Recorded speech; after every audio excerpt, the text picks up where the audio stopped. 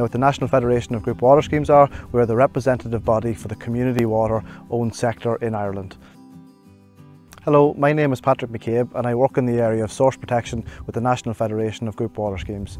Over the last approximate 10 years or so, around 95% of community regulated group water schemes have been working on this area of source protection and in the development of what's called preliminary source protection plans. Source for the scheme is a lake called Loch Namacree, but it's locally known as Srinty Loch.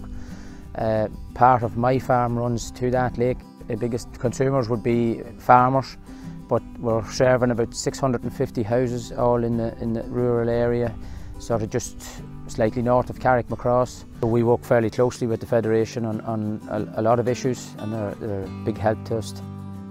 Pressures facing our group water uh, scheme supplies can come from a variety of areas. They can be from rural, they can be from urban, they can be from domestic pressures or indeed agricultural pressures. And really in truth, any of the projects that we've worked with over the last 10 years or so, the cornerstone of them has been integrating plans and helping them and working with uh, the, the farming community.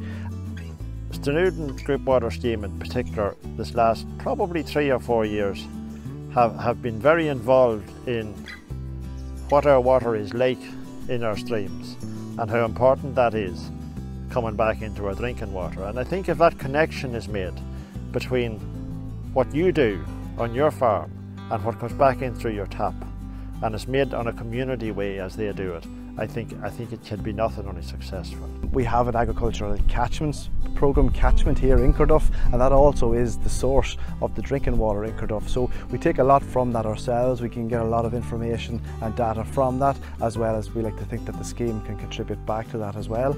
Certainly through work with the Federation and, and, and the catchments programme there's, there's you know we can see a lot more of the impact that our day-to-day -day work in the farming sector has on the water quality around us and, and that awareness uh, can help us to put, be put best practice in place on individual basis to, to, to help